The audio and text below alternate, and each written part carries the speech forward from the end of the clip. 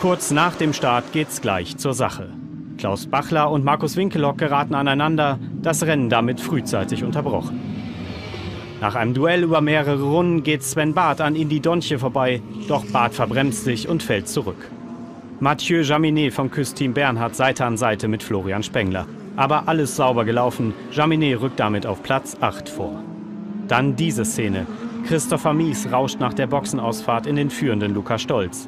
Stolz kann zwar weiterfahren, Robert Renauer übernimmt im Porsche aber die Führung. Doch das Team von Herbert Motorsport muss noch zum Fahrerwechsel in die Box. Sven Müller übernimmt das Cockpit von Robert Renauer und bleibt vorne. Der Kampf ums Podium spitzt sich zu. Mirko Bortolotti im Lamborghini Huracan geht vorbei an Marvin Kirchhöfer und damit rauf aufs Podium. Sven Müller und Robert Renauer gewinnen den ersten Lauf am Lausitzring. Luca Stolz und Luca Ludwig werden Zweiter. Jubel bei Herbert Motorsport und beim Team Zackspeed. Rang 3 geht an das Duo Peres Kompank und Bortolotti. Das Rennergebnis im Überblick. Sven Müller und Robert Renauer übernehmen damit die Führung in der Gesamtwertung. Ja, und werden ja auch in diesem Jahr wieder vereint auf dem Precourt Herbert Motorsport Porsche Robert Renauer und Sven Müller. Jetzt kommen wir, ich habe es angekündigt, zum Aust Audi. Und da haben wir für zwei Autos, ähm, die Frank Aust in diesem Jahr einsetzen wird, bereits drei Piloten feststehen. Also ein Cockpit ist noch frei. Na gut, ich habe keine Zeit, äh, weil ich mich freue, das ADAC GT Masters wieder für Sport 1 kommentieren zu dürfen. Aber vielleicht können uns die Piloten sagen, wer da noch auf das freie Plätzchen rücken wird. Wir gucken mal, wen wir in der Leitung haben. Das müssten sein Maximilian Hackländer, Nikolai Rogivy und Hendrik von Danwitz. Da sitzen Sie. Wunderschönen guten Mittag, Jungs. Alles klar bei euch? Ja, soweit alles gut. Soweit alles Arbeiten gut. am Arbeiten, anständig. Ich ja. würde mit, äh, würd mit Max äh, gern mal anfangen. Du hast äh, die längste oder die kleinste Inventarnummer, äh, bist ja schon ähm, quasi ja, einige Jahre mit, mit Frank unterwegs, mit Frank Aust. Äh, Max, äh, erzähl mal, wie war die lange Pause jetzt für dich und wie sehr freust du dich, endlich ins Cockpit wieder klettern zu dürfen? Ja, also ich freue mich auf jeden Fall eine ganze Menge drauf, wieder starten zu können. Ähm, ich habe mich, wie die meisten auch, mit ein bisschen Simracing über Wasser gehalten, sage ich mal so. Also das macht auch eine ganze Menge Spaß. Hatte ja auch ein paar gute Rennen, aber wir waren jetzt schon einmal wieder testen, vor zwei Wochen ungefähr. Und äh, ja, echter Motorsound ist durch nichts zu ersetzen. Also das steht mal fest. Das steht fest, das ist gut. Du hast äh, mit Nikolai Rogevy einen alten Teamkollegen zurück an deiner Seite. Der ist mal ein Jahr fremdgegangen. Nikolai zurück quasi in alte Gefilde. Kann man das so sagen? Ja, genau. Also ähm, wir haben eigentlich schon immer Kontakt gehabt zu Aust und äh, wir waren halt ein Jahr jetzt weg bei Mücke und jetzt wieder zurück bei Aust. Der Test war auch sehr, sehr positiv in Hockenheim, äh, wo wir hatten. Und äh, ja, ich freue mich aufs Jahr und äh, mal schauen, was so möglich ist. Mal, mal, schauen, was möglich ist. Du musst uns mal ganz kurz erklären, wo bist du eigentlich? Ich sehe im Schaufenster Hintergrund ein paar Schlittschuhe, äh, die da rumhängen, äh, ein Hinweisschild, wo es zur Toilette geht. Wo bist du gerade? Was machst du bitte schön da? Ähm, ich sitze gerade bei einer Eis Eislaufbahn, also Schlittschuhbahn. Und äh, hier ist, äh, das ist in Dolda in Zürich. Ähm, das ist äh, Dolda Classics nennt sich das. Das sind dann, ist ein Autotreff für ähm, klassische alte Autos. Und weil ich halt mit Simulatoren arbeiten werde, ab September sind wir hier ausgestellt mit unserem Simulator. Äh, kann ich von hier aus leider nicht sehen. Ähm, aber ja, aus ich bin, ich müsste jetzt eigentlich arbeiten, aber ich kann jetzt für das Interview halt schnell 15, 20 Minuten weggehen. Das ist super und äh, man sieht, dass äh, ja, durchaus auch noch anständig und normal gearbeitet wird. Hendrik von Danwitz, das ist der dritte im Bunde. Ähm, du bist so ein bisschen der Solist, zumindest äh, für den Moment noch. Ähm, vor zwei Wochen gab es die Meldung, dass du ins ADAC GT Masters mit äh, Aust Motorsport einsteigst. Erstmal willkommen. Ähm, das wird deine Rookie-Saison. Wie viele schlaflose Nächte gab es bis jetzt schon? Ja, erstmal Dankeschön. Ja, bis jetzt geht es eigentlich noch, es sind ja noch zwei Wochen. Also wie gesagt, wir sind alle ich freue mich drauf, mit dem Team mit auszustarten und ähm, ja, bis jetzt geht's noch, aber wir wissen alle, dass es eine große Aufgabe wird, aber ich freue mich drauf. Ja, das hört sich doch gut an, wenn man sich darauf freut. Ähm, Hendrik, die Frage muss natürlich sein, gibt es denn schon irgendwelche Kandidaten, die neben dir Platz nehmen werden im Auto mit der 4? Soweit ich weiß, gibt es schon ein, zwei Kandidaten, aber ich darf leider noch nicht sagen, wer es nun letztendlich wird. Du könntest ja mal so einen Vornamen nennen, also äh, äh, zumindest mal so einen Hinweis. Irgendwas müssen wir dir doch entlocken. Ja, so viel weiß ich, das Team hält sich da auch relativ bedeckt, also so viel weiß ich da leider auch noch nicht, dass ich da was sagen könnte. So, da müssen wir vielleicht gleich noch mal ein bisschen nachbohren. Ähm, Max, ähm, lass uns mal gemeinsam äh, eine Szene letztes Jahr vom Sachsenring anschauen. Da haben wir tolle Bilder. Ähm, äh, es fehlt ja immer wieder nach tollen Trainingsergebnissen mal so der richtige Durchbruch, ähm, wo wir dich endlich mal auf dem Podium sehen.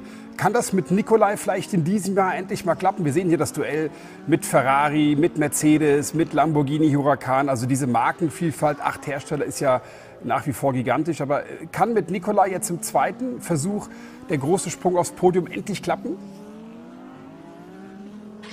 Ja, also ich glaube, dieses Jahr mit Nikolai kann auf jeden Fall sehr gut werden. Wie gesagt, wir hatten vor zwei Wochen den Test, da waren wir, ich sag mal, annähernd gleich schnell. Und was ja immer eine gute Voraussetzung ist, wenn man zwei wirklich gleich schnelle Fahrer hat.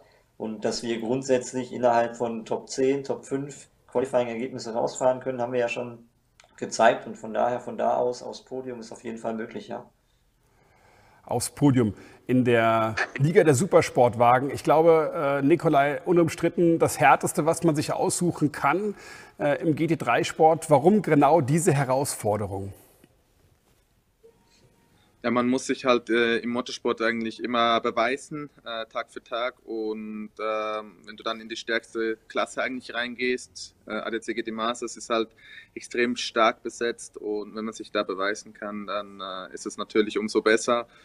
Und man möchte halt im stärksten Feld mitfahren und zeigen, äh, dass man vorne da dabei sein kann. Wie, wie sehr, Nikolai, wünschst du dir das erste Podium? Ähm, also, ich hatte ja schon mal ein Podium in GT Masters. Äh, es wäre schön, wieder mal drauf zu sein. Ähm, ich denke, mit unserer Fahrerpaarung könnte das auch gut klappen. Ähm, ja, also ich freue mich extrem aufs Jahr und ich habe auch ein gutes Gefühl dabei. Ein gutes Gefühl. Ähm, Henrik, du kommst äh, vielleicht für die, die noch nicht ganz so fit sind mit dem, was du bis dato gemacht hast, aus der Langstrecke am Nürburgring.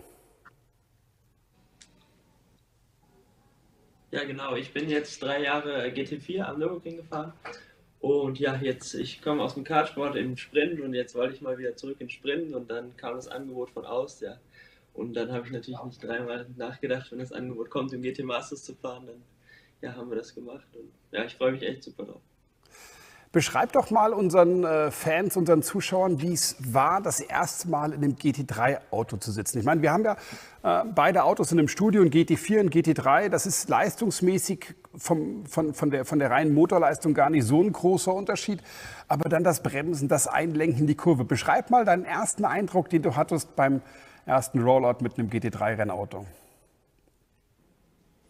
Ja, ich bin in Hockenheim auch bei dem Test, wie gesagt, vor zwei Wochen das erste Mal gefahren und ich bin aus der Boxengasse Pit Limit heraus und ich dachte mir so, wow, also die Beschleunigung ist nicht so viel besser, aber dann das erste Mal anbremsen hat man direkt äh, viel mehr Zug auf der Bremse.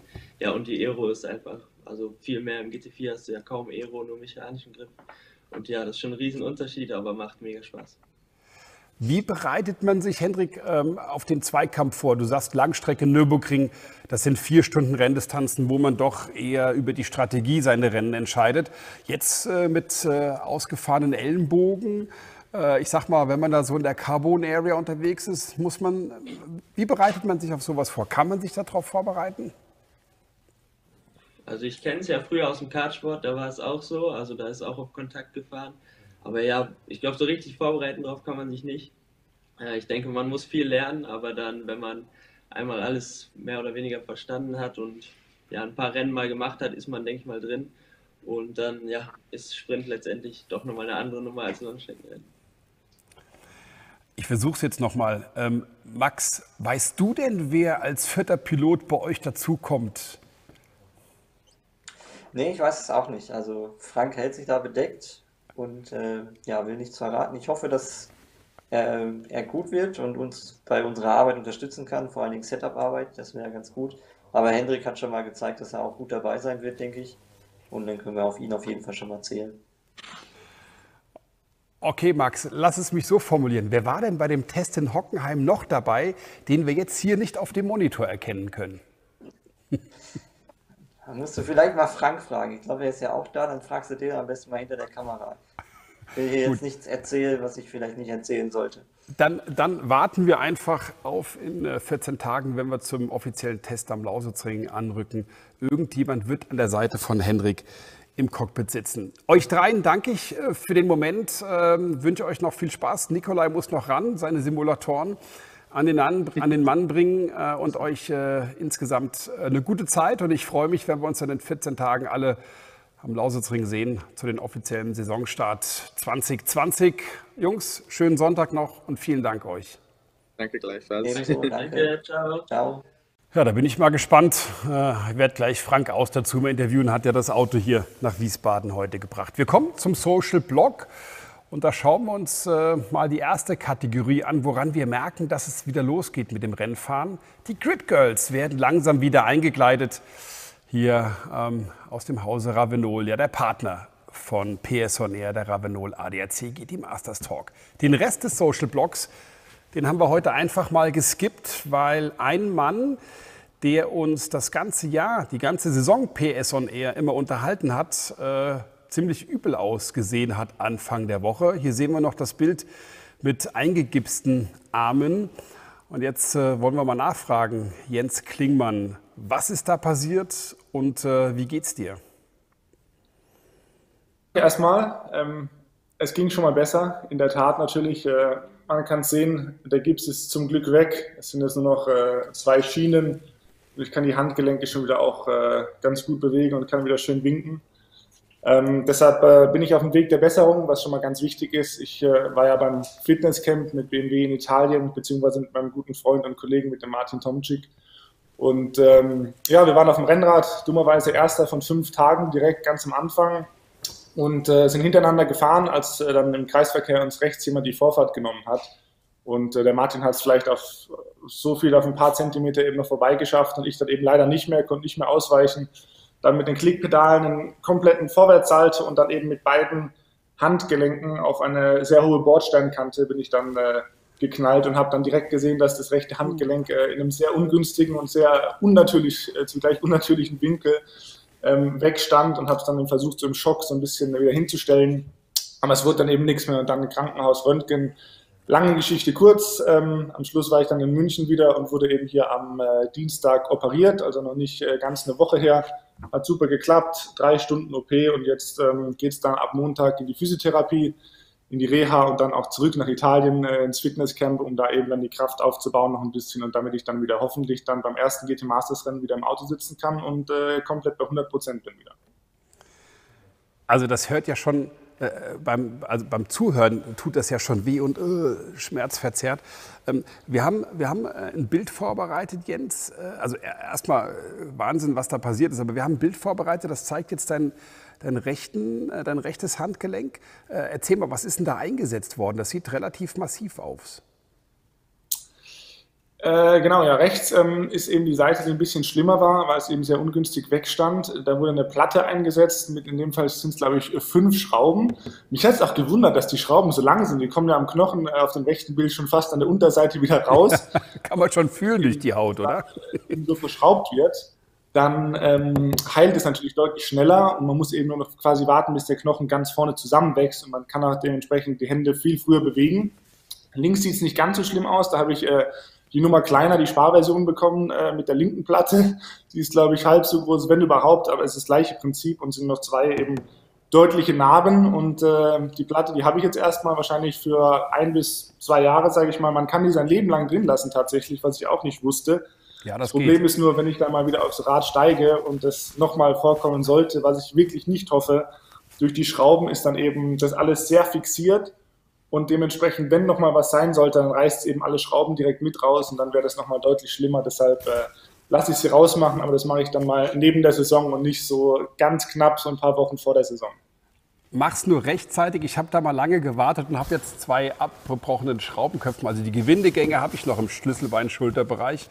Die Schraubenköpfe sind beim Rausdrehen abgebrochen. Aber Jens, äh, du hast gesagt, dass du, äh, um, um das vielleicht noch mal kurz aufzugreifen, äh, zum Saisonstart dann wieder fit sein willst. Du willst uns jetzt nicht erzählen, dass du in vier Wochen in einem Rennauto sitzt und neben Marius Zug, ähm, das ja dein Teamkollege geworden ist, der ja dein Teamkollege geworden ist für MAS GT Racing, am Lausitzring Saisonstart im Cockpit sitzen willst. So verrückt bist doch du nicht, oder? Doch, das hatte ich mir eigentlich fest vorgenommen. Also im Krankenhaus, ähm, die erste Diagnose weißt du natürlich nicht, bevor es dann alles im CT war und ordentlich dann äh, auch wieder repariert wurde, in Anführungszeichen. Und die Ärzte sagen ehrlich gesagt, äh, sechs Wochen dauert es, das wäre aber eine Woche nach GT Masters. Und dementsprechend äh, habe ich da aber gute ärztliche Hilfe und ich will das in vier Wochen schaffen. Da gibt es auch so ein Magnetfeldtherapiegerät, das habe ich mir nach Hause bestellt. Das benutzen viele Sportler, auch Skifahrer habe ich gehört. Und äh, da soll der Knochen bis zu dreimal schneller zusammenwachsen. Das ist jetzt mal ein Versuch wert. Also an dreimal schneller glaube ich jetzt nicht, aber auch wenn es nur, keine Ahnung, mir eine Woche sparen würde, also ein Viertel schneller wäre, 25 Prozent, dann wäre ich schon happy. Und ich habe jetzt Ende Juli, ich glaube am 22, äh, lass mich nicht lügen, so um den 22. rum habe ich ein, äh, ein Röntgenbild nochmal hier im Ort äh, in München direkt, wo man dann sehen kann, ob der Knochen eben schon komplett zusammengewachsen ist. Und wenn das der Fall ist, dann bin ich auf jeden Fall äh, am Start. Das muss das Ziel sein. Und ich will da auch nicht den Marius oder mein Team im Stich lassen und auch BMW Motorsport genauso wenig. Und es ist ja auch das, was du als Rennfahrer im ersten Moment da im Graben denkst. Denkst du erstmal, oh, das sieht nicht gut aus, äh, jetzt bin ich weg. Das kann es ja auch gewesen sein. Du weißt ja nie, was genau ist. Und das war mal eine ganz große Sorge. Und jetzt äh, verpasse ich wahrscheinlich nur eben das VLN-Rennen, VLN 2, 3 jetzt äh, in ein, zwei Wochen und dann GT Masters. Äh, bin ich dabei, Stand heute. Wir werden das beobachten und wünschen dir ganz viel Glück bei deiner Genesung. Aber mit dieser Magnetfeldtherapie, ich glaube, ich schicke dir mal meinen jüngsten Sohnemann vorbei. Der wird gerne noch 10 cm wachsen. Vielleicht hilft das ja nicht nur beim Zusammenwachsen, sondern auch beim mehr Knochen länger werden, wachsen. Gute Besserung, Jens Klingmann, und äh, liebe Grüße nach München. Vielen Dank. Bis ganz bald. Danke. Also Wahnsinn, was heute möglich ist. Und äh, ja, das zeigt einfach auch den Spirit, das Holz, aus dem Rennfahrer geschnitzt sind. Jens Klingmann, der sagt, na klar, bin ich in vier Wochen am Start. Und da können Sie mal von ausgehen, das wird funktionieren. Was auch funktioniert, ist äh, der schnellste Markenpokal Deutschlands. Das ist der Porsche Carrera Cup. Seit über 30 Jahren gibt es das Unterfangen. Auch ich durfte mich da mal drinne tummeln. Und was sind da für große Rennfahrerkarrieren draus entstanden? Nicht meine, aber wie viele Le Mans-Siege, wie viele ADAC GT Masters-Titel von Menschen, die im Porsche Carrera Cup äh, sich ihre ersten Sporen abgeholt haben oder Menschen, die gesagt haben, oh, da kann man doch mit ganz viel Erfahrung auch noch richtig viel Meter sammeln. Michael Ammermüller ist ein gutes Beispiel für den Porsche Markenpokal. Dies Jahr auch wieder Teil der ADAC Motorsport Wochenenden. Schauen wir uns mal ähm, an, was da so geboten wird.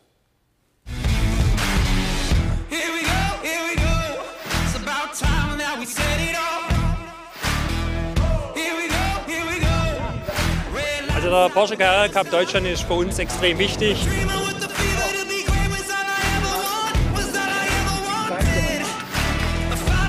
Zu Porsche gehört Motorsport dazu, das ist Kern der Marke.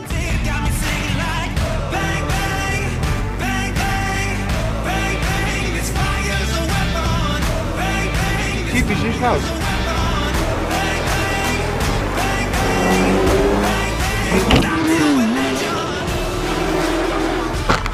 Gehört dazu, ein bisschen der Kontakt.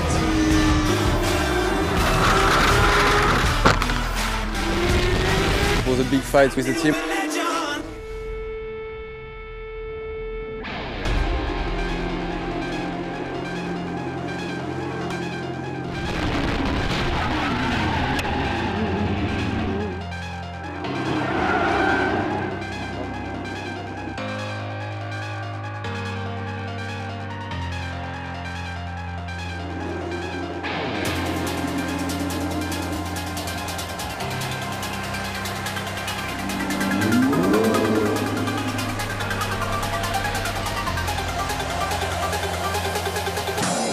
schön. War mal was anderes.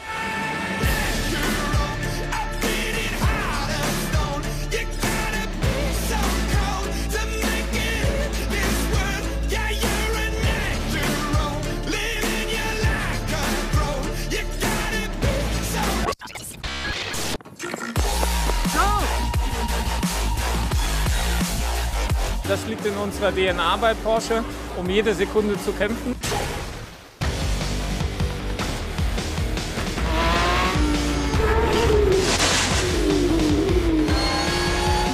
Spaß. Es war unglaublich viel Sand.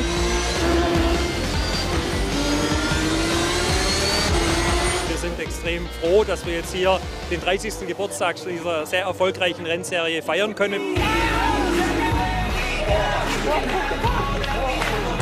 Big fight, big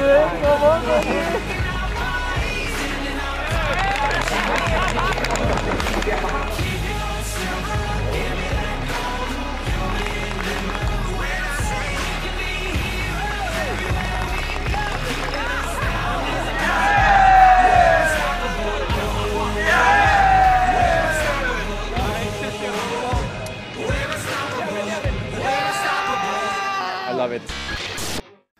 Ja, das waren die tollen Bilder aus dem Porsche Carrera Cup und ich freue mich jetzt, den Vorsitzenden der Geschäftsführung Porsche Deutschland GmbH, Alexander Pollich und Porsche Markenbotschafter Timo Bernhard in Stuttgart im Museum begrüßen zu dürfen.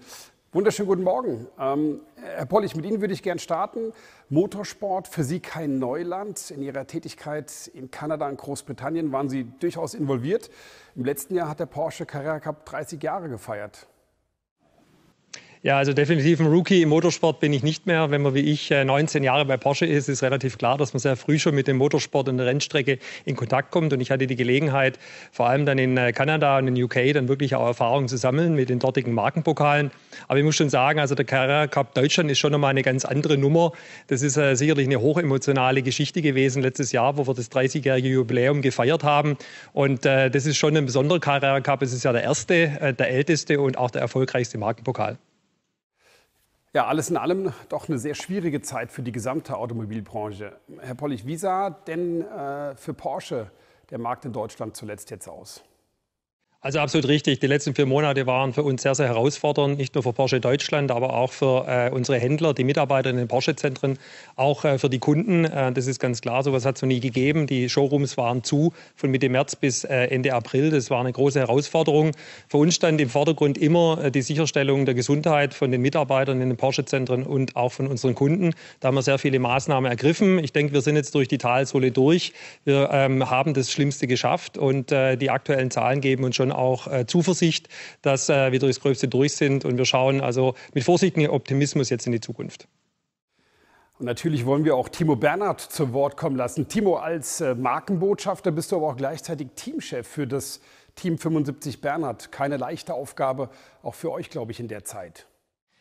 Ja, mit unserem Team 75 Bernhard äh, war das keine einfache Zeit. Äh, vor allen Dingen aus unternehmerischer Sicht mussten wir gegensteuern, weil der Kalender jetzt erstmals ganz anders aussieht.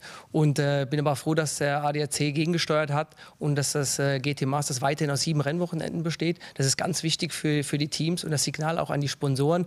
Aber die Rennsaison besteht jetzt, äh, wird jetzt innerhalb von vier Monaten gefahren, was normal über, sich über eine sieben Monate Zeit erstreckt. Von daher äh, ist da eine ganz andere Dynamik, aber ich freue mich, wenn es wieder losgeht. Ja, der gesamte Motorsport bleibt natürlich von der Corona-Krise Covid-19 auch nicht ganz unberührt. Äh, Porsche Carrera Cup Deutschland hat daraufhin jetzt einen aktualisierten Rennkalender präsentiert. Wie sieht der genau aus, Herr Pollich? Ja, leider konnten wir die Saison nicht wie geplant starten, aber wir sind Porsche, wir stecken da nicht den äh, Kopf in den Sand, sondern wir suchen nach äh, kreativen Lösungen und die haben wir auch gefunden. Wir haben uns entschieden, auf der E-Sports-Plattform Race Room einfach die Saison digital zu starten und das ist auch eine richtig gute Sache. Aber selbstverständlich äh, ist es zwar eine tolle Plattform, aber wir freuen uns dann trotzdem, wenn es dann im September losgeht, weil zum Motorsport gehört schon der Gummiabrieb, die Rennstrecke, das Motorendröhnen und der Benzingeruch. Ja, und los geht's mit äh, einem absoluten Highlight, oder? Absolut, ja. Also äh, wir starten nicht irgendwo die verspätete Saison, sondern in Frankreich bei den legendären 24 Stunden von Le Mans. Wir werden da also gemeinsam mit äh, Porsche France, äh, die machen da auch ihren Carrera Cup Frankreich, ein Rennen durchführen. Das ist natürlich äh, eine sensationelle Sache. Und es ist uns auch gelungen, mit dem ADAC trotz der ganzen Corona-Einschränkungen noch ein sehr attraktives Package für den Rest der Saison zu schnüren. Es wird da vier Events geben mit insgesamt äh, zehn Rennen. Ich glaube, das ist wirklich super. Und da können sich die Teams, die Fahrer und die Fans wirklich noch auf einiges freuen. Timo, du bist in diesem Jahr nicht mehr als Fahrer unterwegs, aktiv, sondern hast jetzt die Rolle des Teamchefs komplett eingenommen. für deine Truppe. Aber dennoch begann ja für dich auch die Laufbahn ähm, im Porsche Carrera Cup. Also drei tolle Exemplare habe ich hier. 964, 993 und 996. Ich glaube, auf so einem Auto begann auch deine Cup-Karriere. Absolut. Ich bin ein richtiger Fan des Porsche Carrera Cups, ähm, weil das, da habe ich mir meine ersten Spuren verdient. Das war für mich die Eintrittskarte äh, in den Profibereich. Also der Carrera Cup hat mir alles das an die Hand gegeben. Äh, zum einen von der Ausbildung her, aber zum zweiten auch die Sichtbarkeit und später auch, sag mal, das, die Möglichkeit, mich zu zeigen, um dann in den Profibereich aufzusteigen, äh, die Spuren zu verdienen und dann auch später zum Werksfahrer zu reifen. Timo, ich kann mich noch gut entsinnen, vor zwei Jahren warst du Rookie im ADAC GT Masters und das als durchaus erfolgreicher Le Mans und Nürburgring 24-Stunden-Gesamtsieger. Jetzt gab es noch mal eine ganz neue Premiere. Du hast dich zum ersten Mal äh, den E-Sport-Aufgaben gestellt.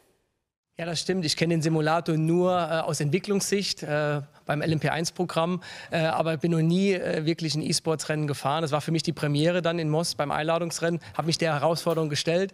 Ähm, war auch toll, diese Erfahrung zu sammeln, aber ich muss sagen, ich bleibe lieber bei der Realität. Ja. also E-Sport ist nicht ganz unwichtig. Ähm, Herr Pollig, als Vorsitzender der Geschäftsführung Porsche Deutschland GmbH, hat, glaube ich, das auch bei Ihnen in der Konzernstrategie einen enormen Stellenwert. Also tatsächlich ist E-Sports auch Bestandteil unserer Motorsportstrategie. Also nicht erst seit äh, den Corona-Zeiten sind wir dort aktiv. Wir haben äh, schon in der letzten Saison digitale Wettbewerbe ausgetragen und es gab tatsächlich auch eine komplette Carrera Cup E-Sports-Saison. Also für uns ist das äh, eine gute Sache und es ist auch wirklich beeindruckend, wie realistisch inzwischen die Simulatoren äh, geworden sind. Also insofern ist es fast gleichwertig zu dem realen Renngeschehen. Und es ist halt so, dass uns äh, dieser E-Sports-Bereich auch den Zugang zu völlig neuen, vor allem jungen Kundengruppen ermöglicht, die bisher vielleicht mit der Marke Porsche noch nicht so viel zu tun hatten. Junges Publikum ist, glaube ich, ein gutes Stichwort. Der Porsche Carrera Cup zeichnet sich ja dadurch aus, dass da die erfahrenen Haudegen auf die jungen Wilden treffen. Ähm, Stichwort äh, Porsche Talent Pool, Timo. Ja, das stimmt. Das ist ein ganz besonderes Programm von der Carrera Cup Organisation, dass man den Talentpool quasi Einsteigern, jungen Fahrerinnen und Fahrern in die Serie die Möglichkeit gibt, sich zu zeigen, dass sie gecoacht werden auf der Strecke, abseits der Strecke und quasi das Rüstzeug kriegen für eine weitere Karriere. Und ich glaube, das ist ein ganz wichtiger Punkt, äh, die die Attraktivität des Carrera Cups steigert. Die äh, Talentförderung liegt uns beim Porsche Carrera Cup Deutschland absolut am Herzen. Die äh, jungen Fahrer erhalten ja die Unterstützung auf und neben der Rennstrecke. Da ist natürlich ein Fahrercoach dabei, da ist äh, Beratung dabei, wie man sich fit hält, da ist mentales Training dabei, weil die Rennen werden ja zum Teil auch im Kopf entschieden. Da ist auch Mediatraining dabei und das sieht man sehr schön beim Timo, was das bringt. Da ist er inzwischen wirklich ein echt geschliffener Präsentator. Da ist auch ein bisschen finanzielle Unterstützung mit dabei. Äh, wir zeigen ihnen auch ein bisschen das Unternehmen Porsche, dass sie auch wissen, für welche Firma, an welche Marke sie da arbeiten. Also alles äh, sehr kompakt. Und ich hatte letzte Saison die Gelegenheit, mit den jungen Fahrern mich zu unterhalten und ich war wirklich sehr beeindruckt von der Leidenschaft und dem Herzblut, äh, mit dem sie schon für die Marke Porsche und für den Motorsport brennen. Porsche ist immer auf der Suche nach jungen Fahrern und nach jungen Talenten. Der Porsche Experience Day ist das beste Mittel, um da reinzukommen, um da reinzuschnuppern. Warum sollte man sich als Fahrer genau da anmelden? Der Experience Day ist eine Art Schnuppertag des Carrera Cups. Der wird dieses Jahr in Oschersleben stattfinden. Und die Idee dahinter ist, eine Plattform zu geben, zu ermöglichen, wo junge Fahrer auf die Teams treffen, dass da eine mögliche Kooperation entsteht und dass die jungen Fahrer auch mal reinschnuppern können, wie sich so ein Cup-Auto anfühlt und was bedeutet der Carrera Cup dann überhaupt. Ähm, ist bei mir im Terminkalender eingeplant und vorgesehen. Und äh, da wird es auch noch ein kleines Highlight geben, aber dazu später in der Saison mehr. Eins würde mich doch dennoch interessieren. Ihr steht da vor zwei durchaus interessanten Fahrzeugen. Also ich beispielsweise sitze auf meinem Vizemeisterauto im Porsche Carrera Cup 98. Was äh, steht dann bei euch da ähm, hinten rum? Ja, also hinter mir ist der erste vollelektrische Sportwagen der Marke Porsche, der Porsche Taycan. Das ist natürlich ein sensationelles Auto. Das ist für uns nicht nur eine neue Baureihe, sondern ein wirklich neues Kapitel in unserer Unternehmensgeschichte. Als wir das äh, Fahrzeug vorgestellt haben, da gab es keinen Zweifel, das Design ist Porsche. Aber es ist auch wirklich ein Porsche von den Fahreigenschaften. Ich meine, da ist kein Motor drin, kein Dröhnen, da gibt es kein Zündschloss, da ist eine Powertaste da, da gibt es kein Drehzahlmesser. Kann sowas wirklich ein Porsche sein? Also da gab es schon Zweifler. Aber ich denke, wenn man das Fahrzeug dann mal fährt und vor allem, wenn man es am äh, Porsche Experience Center auf dem Hockenheimring dann auf die Rennstrecke bewegt, ich glaube, dann werden alle Zweifel sofort verfliegen. Weil äh, das Fahrzeug, eine Technologie, das ist wirklich Motorsport pur.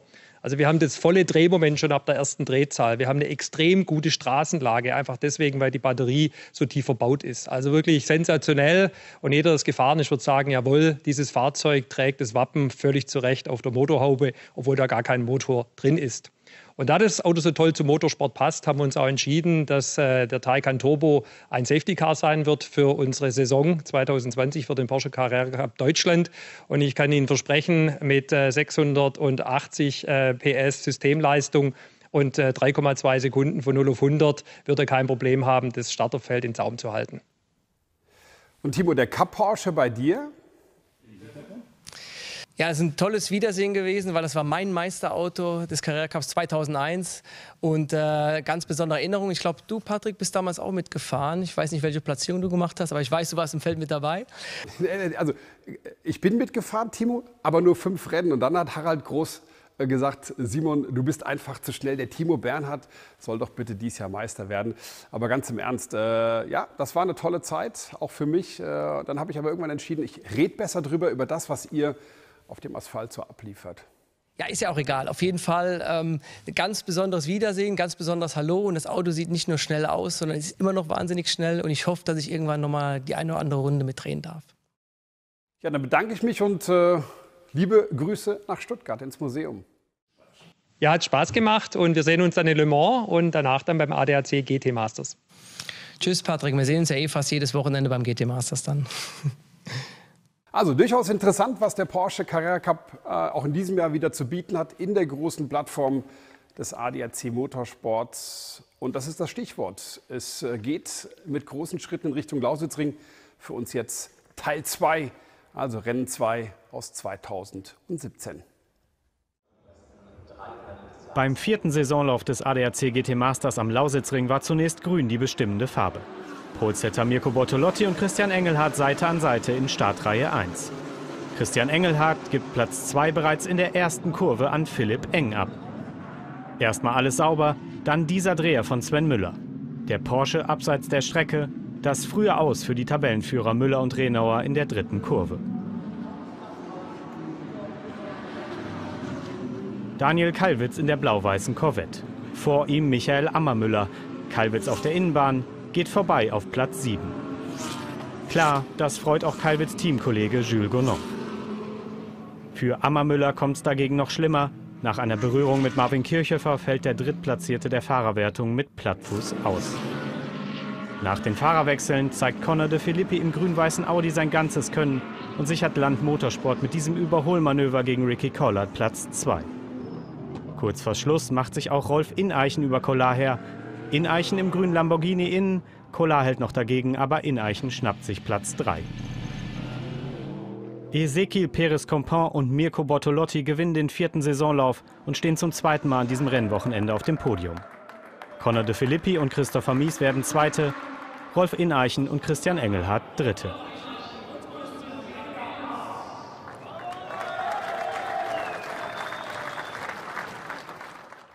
Also noch vier Wochen und dann dürfen wir wieder applaudieren. Bin mal gespannt, wer zum Saisonstart da am Lausitzring erfolgreich sein wird. Nicht am Lausitzring dabei, aber dennoch Teil des äh, ADAC GT Masters, der ADAC Rennwochenende ist die ADAC GT4 Germany. Im letzten Jahr gab es die Premiere. Ja, und jetzt haben wir die nächste Premiere hier an Bord bei PS On Air, der Ravenol ADAC GT Masters Talk. Es ist die Ginetta. Und eine weitere Premiere, ich habe es angekündigt. Wir haben zum ersten Mal auch einen Studiogast hier in Wiesbaden. Ich stelle mich jetzt einfach hier einen Schritt rüber, dass wir den gebührenden Abstand auch einhalten. Nämlich einer der Piloten und ich freue mich, Cedric Pirro begrüßen zu dürfen, der jetzt hier ist. Cedric, komm zu mir, komm ins Studio. Einmal High Five virtuell, zack, genau, so wie sich das gehört. Ähm, Cedric, ähm, willkommen zurück an den ADAC Motorsport Wochenenden. In der ADAC Formel 4 warst du schon mal ein paar äh, Tage, ein paar Rennen unterwegs und jetzt hast du uns ein ganz neues Rennauto mitgebracht. Ja, genau. Ich war zuletzt beim ADAC Formel 4 beim GT Masters unterwegs. Dann kurzer Abstecher in die TCR Europe gemacht und ähm, letztes Jahr entschieden, dass wir dieses Jahr in der ADAC GT4 Germany starten.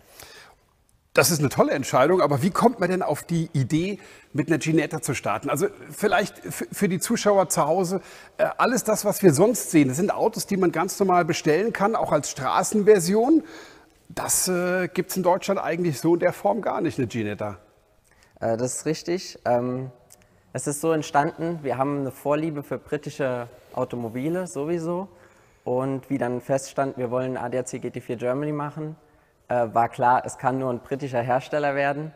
Dann kam so langsam die äh, Idee mit Ginetta, da haben wir uns reingesteigert, wir waren direkt verliebt. Äh, die Philosophie hat uns auch gepasst und auch äh, unser zweiter Fahrer oder mein Teamkollege, der Robin, ähm, der auch schon GT4-Tests gemacht hat, war auch direkt verliebt, spätestens nach dem ersten Test. Man muss dazu sagen, dein, dein Vater ist ja auch früher sehr erfolgreich Rennen gefahren, auch immer mit britischen Exoten. Ich glaube, der war mal mit einem Jaguar wild unterwegs, oder? Da gab es viele, viele tolle Autos, die er bewegt hat. Ja, ja, ähm, das war in der Europameisterschaft äh, mit einem Jaguar E. Ja.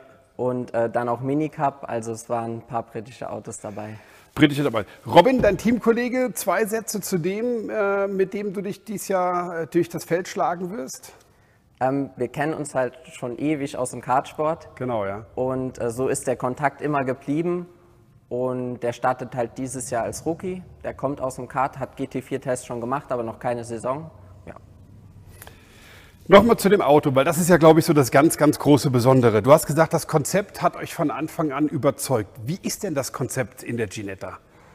Ähm, erstmal, wie du schon gesagt hast, ist es ein rein rastiges Rennauto. Das war uns auch wichtig und ähm, halt auf Leichtbauweise, also so wenig Gewicht wie möglich und ähm, PS auf Gewicht ist. Wie schwer ist die Ginetta?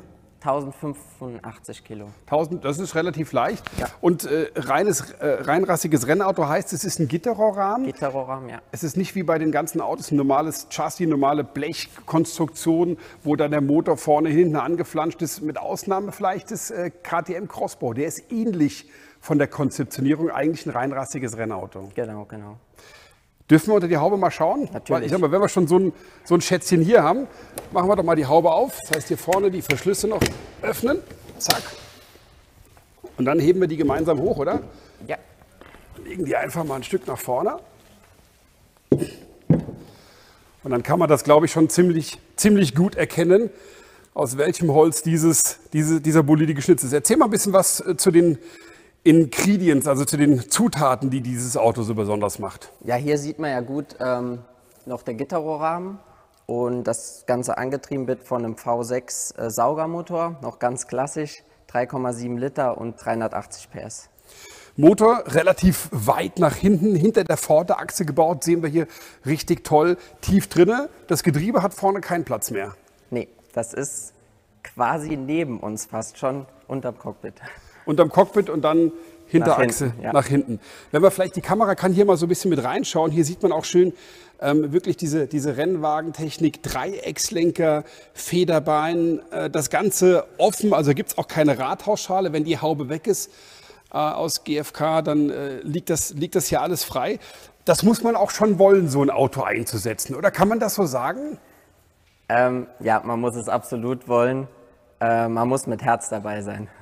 Leidenschaft, Herz, Emotion. Genau. Ähm, ihr habt zwei Autos, das dürfen wir, glaube ich, verraten, ja. um einfach auch sicherzustellen, äh, immer genug Ersatzteile dabei zu haben. Genau, das war, das war die Philosophie dahinter, dass wir immer, also wir haben natürlich Ersatzteile so dabei, Einzelteile, aber es ist ja immer irgendwas und so sind wir auf jeden Fall sicher. Und wir wollen natürlich auch äh, ab nächster Saison zwei Autos einsetzen. Du fährst, ihr fahrt für Pyro Sports. Äh, das ist das eigene Team, das gemeinsam mit dem Vater läuft. Äh, erklär mal uns ein bisschen, wie da die Verteilung ist. Was ist dein Job neben äh, dem Job als Rennfahrer? Ähm, wie gesagt, es ist ein Familienbetrieb und ich bin eigentlich in fast allem involviert. Ich wäre gern mehr in der Technik involviert, aber man kann einfach nicht alles machen. Ich tue halt viel organisieren rundum hinter den Kulissen. Also wenn es jetzt darum geht, ein Getriebe zu tauschen, wärst du der falsche Ansprechpartner? Ich würde es gern machen, aber äh, das machen dann andere. Ja. Äh, wir haben eine Hebebühne, wir könnten sonst mal hochheben äh, und, und, und, schon mal anfangen, drunter zu schauen. Ähm, GT4 Germany ähm, verfolgt im letzten Jahr neben deinen Einsätzen in der TCR Europe äh, am Fernsehen, ist ja auch äh, eine Serie, die es in sich hat durchaus, oder? Sportlich äh, anspruchsvoll. Auf jeden Fall, da nicht feststand, was wir 2020 machen, habe ich alles ganz genau verfolgt, auch die GT4 Germany. Und es waren interessante Rennen. Das Debütjahr war sehr stark Und ich glaube, dass dieses Jahr noch stärker wird. Noch stärker wird. Und jetzt mit dabei die Ginetta G55. Gibt es überhaupt eine Straßenversion davon? Von diesem Auto nicht. Also Ginetta baut Straßenfahrzeuge, aber in kleinen Serien, aber das Auto ist nur Rennauto. Also schön vorne lange Haube. G325, hast du mir gerade erklärt, ist die Chassisnummer. Also wir haben 325 Autos insgesamt schon gebaut. Das zieht sich jetzt nicht, beschränkt sich nicht auf das Modell, auf die G55 alleine. Genau, aber es gibt noch, noch jüngere. Noch jüngere.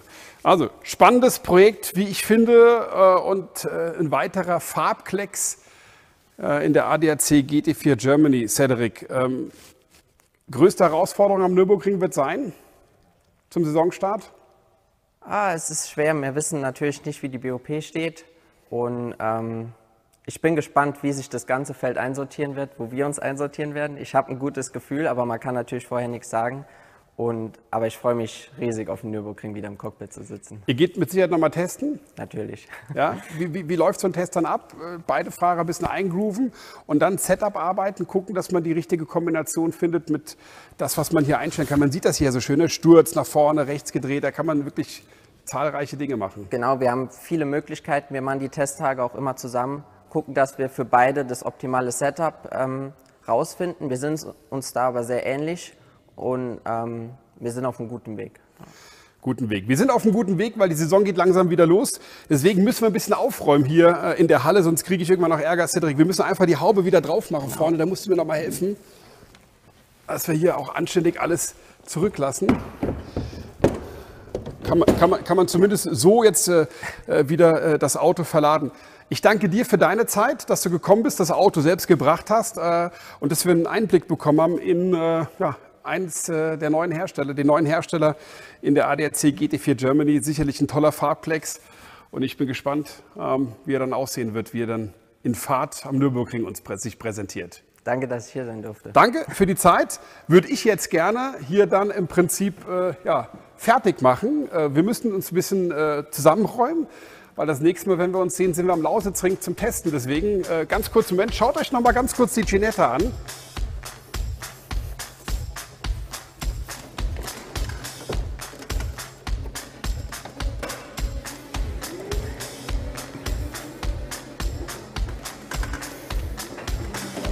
Ich habe ja gesagt, wir, wir, wir, müssen ein bisschen aufräumen. Also wird das Set jetzt hier abgebaut. Alles richtige aufladen, genau. Set wird abgebaut. In 14 Tagen geht es los mit dem offiziellen Test am Lausitzring und in vier Wochen dann Rennen 1. PS on Air, der Ravenol ADAC GT Masters Talk aus Wiesbaden sagt damit erstmal Dankeschön und äh, eine gute Zeit und in zwei Wochen dann live vom Lausitzring mit Motoren, mit fahrenden Autos und strahlenden Rennfahrern, weil sie einfach wieder hinterm Lenkrad sitzen dürfen. Also, gute Zeit, bis dann in 14 Tagen. Nicht nur den Aust-Audi hier abräumen. So, können wir das hier schön abstellen, genau. Können wir die Autos hier wieder rausfahren, so erst die Ginetta, dann den Audi. Also, macht's gut. Tschüss.